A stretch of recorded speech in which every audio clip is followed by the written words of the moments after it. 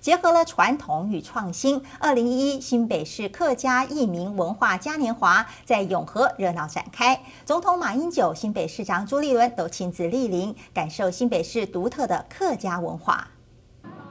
头戴斗笠、挑着担子的新北市长朱立伦与上千位客家乡亲热闹踩街游行，场面盛大。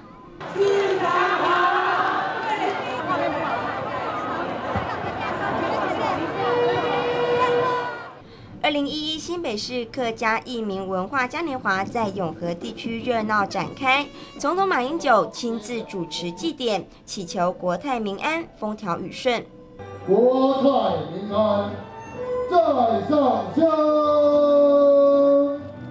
祈求市政昌隆，市民安康。